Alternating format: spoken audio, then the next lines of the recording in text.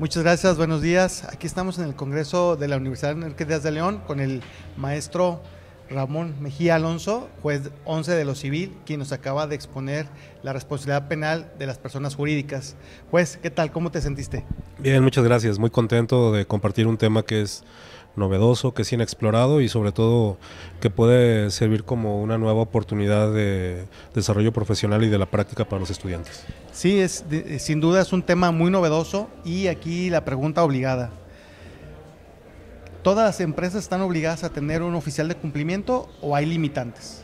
En realidad, digámoslo así que sin que lo diga expresamente, pero uno de los supuestos de la responsabilidad penal es que estas personas, aunque no lo establece expresamente, pero sí les dice que será un atenuante o una excluyente de responsabilidad el que acrediten que tienen planes de contingencia o de prevención, de tal suerte que aunque no lo diga expresamente, podríamos afirmar que todas las empresas deberían de tenerlo. De lo contrario, se encuentran más vulnerables ante la posible comisión de un ilícito. Bien, para nuestra comunidad universitaria, sobre todo para los abogados que están por egresar o ya egresaron, ¿Qué requisitos debe tener un oficial de cumplimiento? ¿Qué debe de cumplir? En realidad el oficial de cumplimiento lo que debe tener es amplia experiencia en el sector o en el ramo respecto del cual va a ejercer como tal y en algunos casos debe tener una certificación.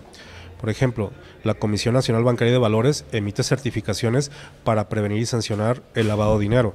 Pero vamos a pensar, si estamos en una empresa que se dedica a la compra y venta de bienes, probablemente no requiere una certificación. Lo que sí es necesario es que debe de conocer toda la legislación aplicable a las actividades de la persona moral.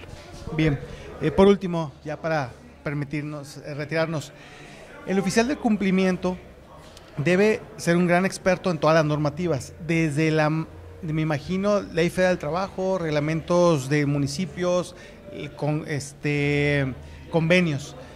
Bajo esta tesitura, el oficial de cumplimiento forzosamente debe ser un abogado.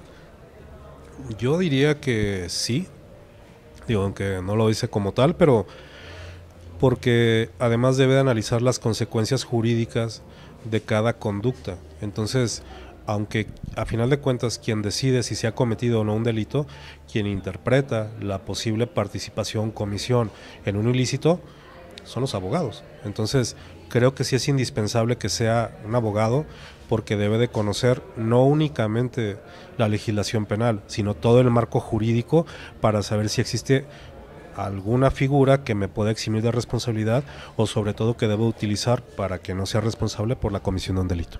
Muy bien, Muchas gracias, te agradecemos, maestro.